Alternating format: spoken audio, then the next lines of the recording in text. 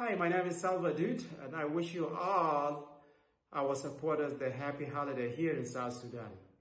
And thank you very much for all the support that you'll be really, really giving to Water for South Sudan. And I will be talking about the water matters here in South Sudan for many reasons. Number one is health. When you have a clean, available water to the community, that's where the community get health. Pride of the community, stability, elevate from uh, poverty, and so many things happen around that. And without water, we all know that there's no life.